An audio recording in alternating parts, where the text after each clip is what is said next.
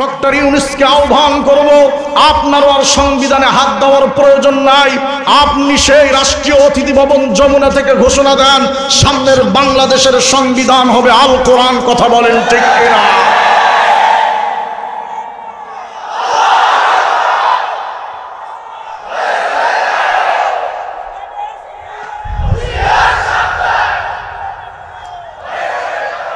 কোরআন দিয়ে যদি দেশ চলে তাহলে ফায়দা কি হবে?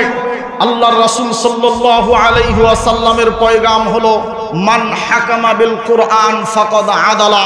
যে কোরআন দিয়ে বিচার করে, সেই বিচার হয় ইনসাফপূর্ণ কথা বলেন ঠিক কিনা? আর যদি কোরআনের বিচারকে বাদ দিয়ে সেই আমাদের রেখে যাওয়া, ওই ব্রিটিশদের সংবিধান দিয়ে বিচার করা হয়, তাহলে আমাদের দেশের এক নম্বরের কুলাঙ্গার, ওই প্রধান বিচারপতি মানিকের মতো কুলাঙ্গার জন্ম নিবে কথা বলেন ঠিক কিনা? আমাদের কথা একদম স্পষ্ট যে আল্লাহ মুসলমানদের জন্য ইসলামকে সংবিধান হিসাবে দিয়েছেন, যে আল্লাহ সূরা মায়দার ভিতরে ঘোষণা দিয়েছেন, ওয়ারাদিতু লাকুমুল ইসলাম আদিনা আমি ধর্ম হিসাবে তোমাদের ইসলাম দিয়ে সন্তুষ্ট। সুতরাং যদি এ দেশের মুসলমানরা থাকে, এ দেশ যদি সামনে থাকে, ইসলাম দিয়েই থাকবে, কথা বলেন ঠিক কিনা? সুতরাং আমাদের কথা হলো, জনতার ভোটে কিংবা ভোট লুটে, যে যা ক্ষমতায় নাস্তানাবুদ হয়ে যাবে, যদি ইসলাম ভুলে যায়, কথা বলেন ঠিক কিনা?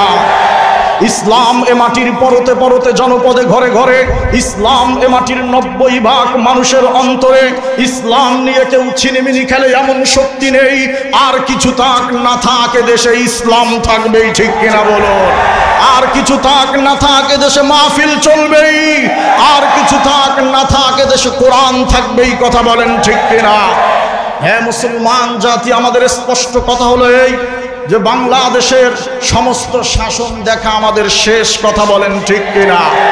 আয়ুব খানের শাসন আমরা দেখেছি, বঙ্গবন্ধুর ভাষণ আমরা দেখেছি, জিয়াউর রহমানের খালকাটা দেখেছি, এরশাদের অনেক তাল আমরা দেখেছি, দুই নারীর টানাটানিতে লক্ষ মায়ের মুখে তাদের চোখের পানি আমরা দেখেছি, ডক্টর ইউনুস এখন দেশে আসে, আমরা জানি এর পিছনে আবার কোনো আমেরিকান ঘুষ থাকতে পারে, এ দেশের মুসলমানদের হুশ আসবে, আগামীর বাংলাদেশ হবে কোরআনের বাংলাদেশ, কথা বলেন ঠিক কিনা?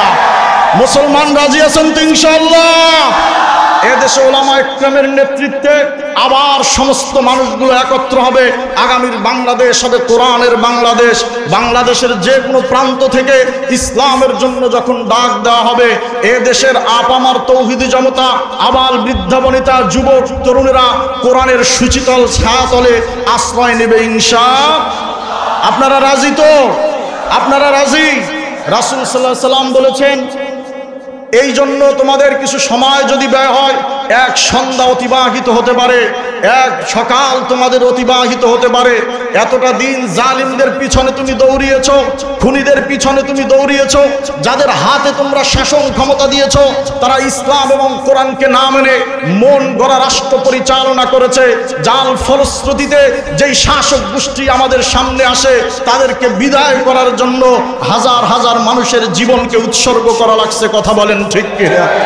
কিন্তু আমরা আর ওই বাংলাদেশ চাই না, কথা বলেন।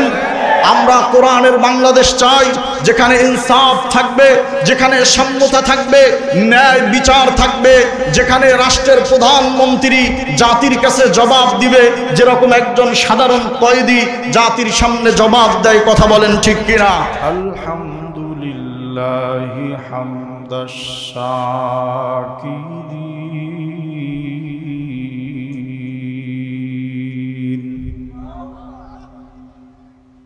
والصلاة والسلام على رسوله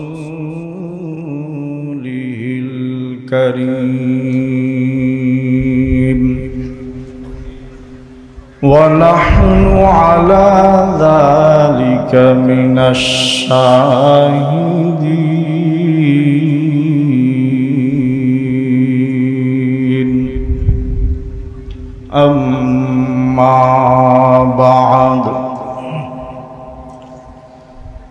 فأعوذ بالله من الشيطان الرجيم.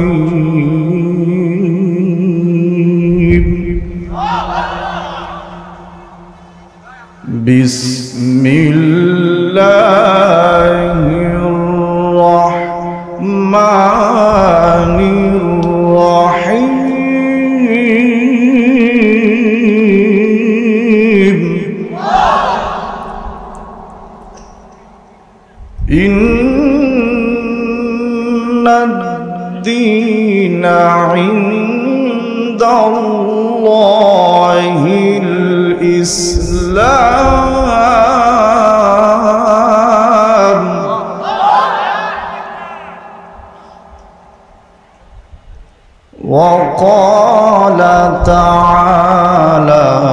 في مقام آخر. ورضيت لكم الإسلام دينا.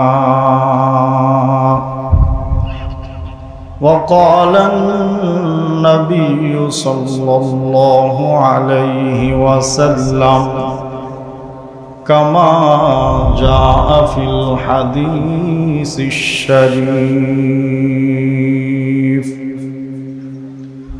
عن أنس بن مالك رضي الله عنهم أن رسول الله صلى الله عليه وسلم قال لغضوه في سبيل الله روحة فيه. خير من الدنيا وما فيها. أو كما قال النبي صلى الله عليه وسلم. وعن أبي ذر رضي الله عنه أنه قال قلت يا رسول الله أي العمل أفضل؟ قال الإيمان بالله والجهاد في سبيل الله. أو كما قال النبي صلى الله عليه وسلم قال الله تعالى في كلامه المجيد في شان حبيبه. يا أيها الذين آمنوا صلوا عليه وسلموا تسليما. اللهم صل على سيدنا ونبينا وشفيعنا وحبيبنا ومولانا محمدا عبده ورسوله. یہاں ہم سب مسافر ہیں وہی آخر ٹھکانہ کوئی آگے روانہ ہے कोई पीछे रवाना ला इलाहा इल्लल्लाह ला इलाहा इल्लल्लाह ला इलाहा इल्लल्लाह মুহাম্মাদুর রাসূলুল্লাহ। হে রাসূল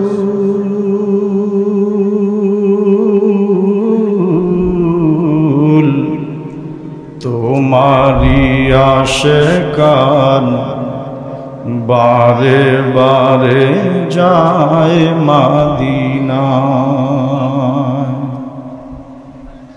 হে রসুল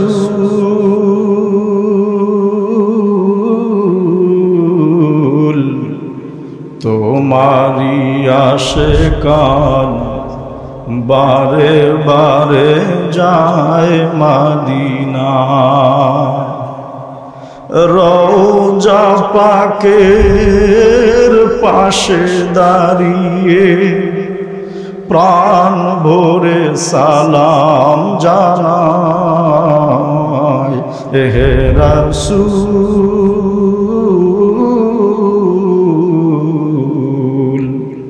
তোমারি আশে কান বারে বারে যায় মাদিনা আপনারা কি কথা আসতে বলবেন না জোরে? ইসলাম আমাদের ধর্ম। এই কথা এই বাংলার জমিনে এখন আসতে বলার কোনো সুযোগ নাই, কথা বলেন ঠিক কিনা? এ দেশের মুসলমানেরা বিগত পঞ্চাশ বছরে এদেশের হক্কানি ওলামায় ক্রাম, পীর মাসায়গণ তৌহিদ পন্থীরা ইসলামের নাম উচ্চারণ করতে বিভিন্নভাবে ভয় পেয়েছে। কিন্তু চব্বিশের স্বাধীনতার পরে এ দেশের সমস্ত ওলামায় ক্রাম, দিনদার হক্কানি পীর মাসায়গণ এই দেশে আর ইসলামের নাম উচ্চারণ করতে বিন্দু পরিমাণে ভয় পায় না, কথা বলেন ঠিক কিনা? কারণ যে ধর্ম দিয়েছে আমার আল্লাহ, যেই ধর্ম মনোনীত করেছে আমার আল্লাহ ওই ধর্মই মুসলমান মানবে, ওই ধর্মের উপরেই মুসলমান কথা বলবে, ওই ধর্ম নিয়েই মুসলমান চলবে, কারও কোনো বাধা মুসলমান মানবে না, কথা বলেন ঠিক কিনা? একটা সময় ছিল এদেশের টিভি, নাটক সিনেমায় দাড়ি টুপিওয়ালাদেরকে এদেশের রাজাকার হিসেবে চিহ্নিত করে সাধারণ মানুষ থেকে ওলামা ইকরামকে বিচ্ছিন্ন করা হয়েছে, কথা বলেন ঠিক কিনা? কিন্তু এ দেশ দ্বিতীয়বার যখন স্বাধীনতা অর্জন করেছে, তখন এ দেশের সাচ্চা হক্কানি ওলামা ইকরাম মাদ্রাসার তলিবুল আলেম তেহাত্তর জন এই স্বাধীনতার জন্য নিজের জীবনকে শাহাদাতের নাজরানা পেশ করেছে, কথা বলেন ঠিক কিনা? সুতরাং আমাদের স্পষ্ট পয়গাম হলো যেই মনোনীত ধর্ম ইসলাম আল্লাহর কাছে গ্রহণযোগ্য, এ দেশের আপ আমার তৌহিদি জনতা ওই ধর্মকে পালন করবে যেমন ঘরে, ওই ধর্মকে পালন করবে যখন যেমন রুমের ভিতরে, ওই ধর্মকে পালন করবে যেরকম মসজিদের ভিতরে, ওই ধর্মকেও এই মুসলমান পালন করবে রাষ্ট্রের সর্বোচ্চ জায়গায়, কথা বলেন ঠিক কিনা? এ দেশের বিভিন্ন শাসন ভার আমরা দেখেছি, তারা ইসলামের লেবাস লাগিয়ে কোরআন সুন্না বিরোধী কোনো আইন করবে না, এই বক্তব্য দিয়ে ক্ষমতা এসে সর্বপ্রথমেই তারা আল্লাহু আকবার এবং বিসমিল্লাকে সংবিধান থেকে উঠিয়ে দিয়েছে। কথা বলেন ঠিক কিনা? ইনশাআল্লাহুল আজিজ, আগামীর বাংলাদেশ মুসলমানের বাংলাদেশ, আগামীর বাংলাদেশ, ওলামা ইকরামের বাংলাদেশ, আগামীর বাংলাদেশ, দিন ইসলামের বাংলাদেশ। আবার যদি সংবিধান কায়েম হয়, আমরা উদত্ত আহ্বান জানাব, সংবিধান আর কাটা কাটাছেড়ার প্রয়োজন নাই, সংবিধান আর সংস্কারের প্রয়োজন নাই।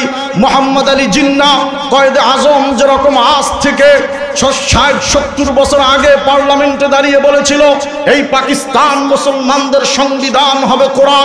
ডক্টর ইউনুসকে আহ্বান করব, আপনারও আর সংবিধানে হাত দেওয়ার প্রয়োজন নাই। আপনি সেই রাষ্ট্রীয় অতিথি ভবন যমুনা থেকে ঘোষণা দেন, সামনের বাংলাদেশের সংবিধান হবে আল কোরআন, কথা বলেন ঠিক কিনা?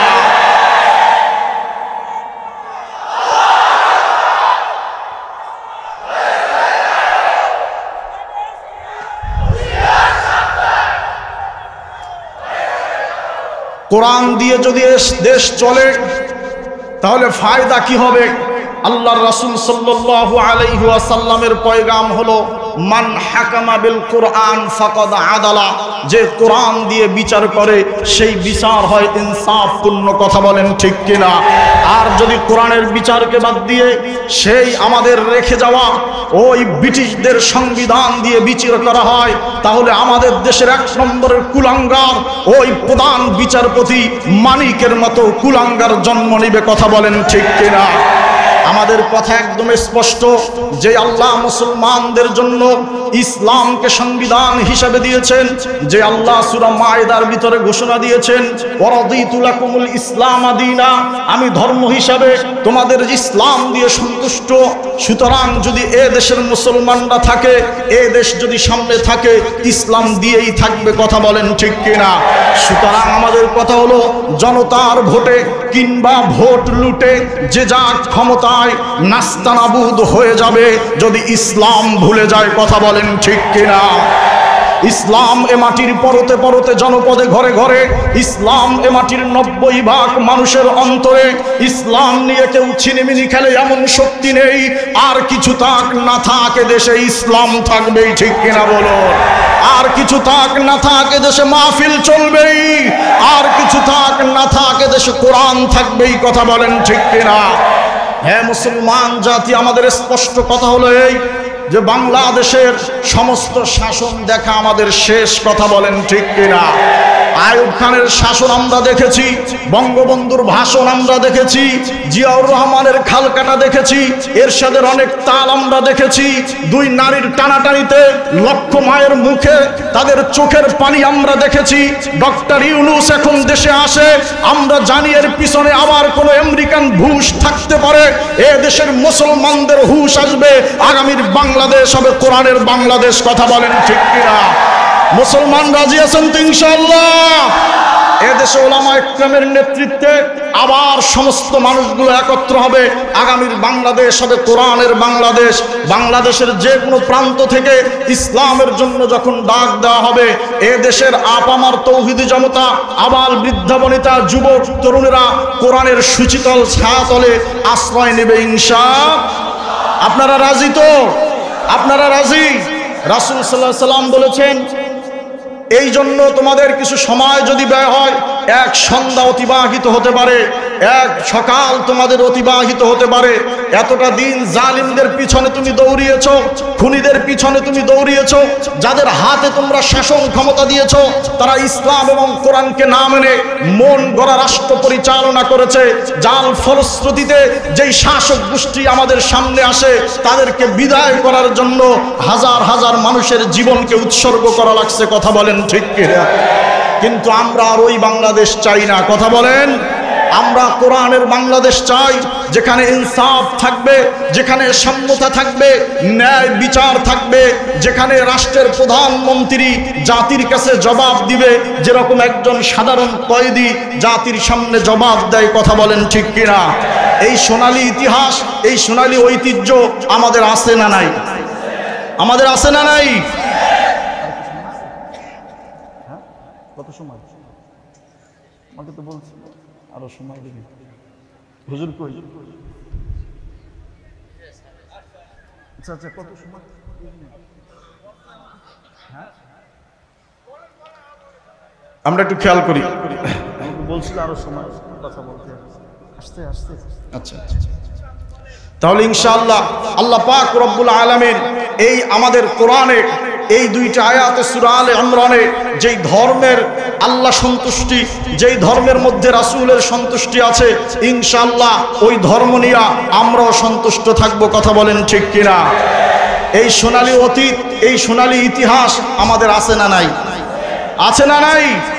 মুসলমান এমন শাসক জন্ম দিয়েছে, যেই শাসকেরা মুসলমানদের সামনে জবাবদিহিতা করেছে। রাতের আধারে মুসলমানদের খোঁজ খবর নিয়ে এরপরে রাষ্ট্র পরিচালনা করেছে। রাতের আধারে লক্ষ কোটি টাকা মেরে এরপরে যায় নাই, কথা বলেন ঠিক কিনা? সুতরাং ভাইয়ের আমার, আসুন আমরা একবদ্ধ হয়ে আল্লাহ পাক রব্বুল আলমিনের দেয়া এই মনোনীত ধর্ম আল্লাহর দেয়াই মনোনীত ইসলামকে, আল্লাহর দেয়াই কোরআনকে আমাদের সংবিধান বানিয়ে আমাদের সামনের পথগুলো আমরা চলি এবং আমাদের যেই শ্রম যে অর্থ, যেই মেধা আমাদের ব্যয় হবে, এই দেশ গঠনের জন্য আমাদের ওই একটা রাত্র যদি আল্লাহর রাস্তায় যায়, একটা বিকাল যদি আল্লাহর রাস্তায় যায়, একটা সকাল যদি আল্লাহর রাস্তায় যায়, আল্লাহর রসুল সাল্লাহ আলাইসাল্লাম বলছে, তাহলে ওই তোমার সকাল যাপন, তোমার ওই দুপুর যাপন, ইসলামের জন্য তোমার এই মেহনত মিনাদ দুনিয়া এবং আখেরাতের চেয়ে আরও বেশি উত্তম এবং কল্যাণকর। সুতরাং আমরা সামনের যেই দিনগুলো চলবো, ইনশাআল্লাহুল আজিজ, ওই দিন আমরা কল্যাণকর, কল্যাণময় নিয়েই চলবো, কথা বলেন ঠিক কিনা? আপনারা রাজি আছেন তো? আল্লাহ পাক রব্বুল আলমীর আমাদের সবাইকে বুঝে, দিন ও ইসলামকে আমাদের সংবিধান বানিয়ে, কোরআনকে আমাদের গাইডলাইন বানিয়ে চলার তৌফিক দান করুন সবাই বলেন আমির ও আখরু দাওয়ানা আনিল হামদুলিল্লাহ রব্বুল আলমীর আসসালামু আলাইকুম রহমতুল্লাহ ওবরাকাত